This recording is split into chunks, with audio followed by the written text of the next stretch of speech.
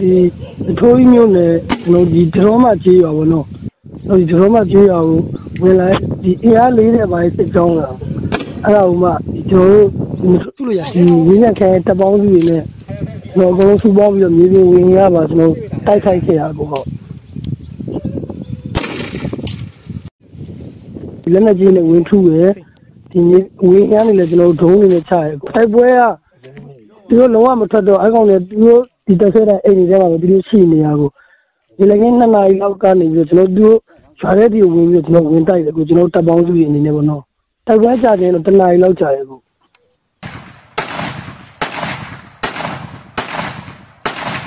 သုံးအောင်တည်းသုံးအောင်နဲ့အထက်ထရရလို့ကျွန်တော်ကြားရတယ်ကြကိုဟုတ်